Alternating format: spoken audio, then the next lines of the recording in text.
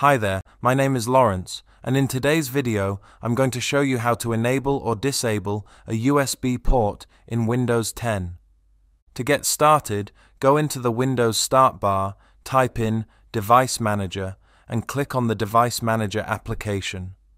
Once Device Manager opens up, scroll all the way down until you find a section called Universal Serial Bus Controllers, and double click on it to expand all of the USB controllers. Now to disable one of the USB ports, right-click on the one that you'd like to disable.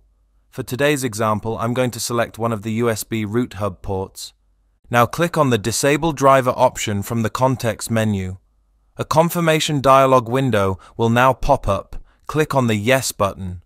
My USB port is now disabled. To re-enable it, simply right-click on the USB port and select the Enable Driver menu option.